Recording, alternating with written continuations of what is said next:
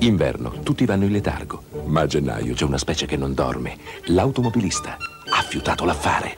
Pensate, può scegliere l'auto o il veicolo commerciale Fiat che preferisce, trattenendo fino a 15 milioni, che pagherà comodamente in 12 mesi a interessi zero.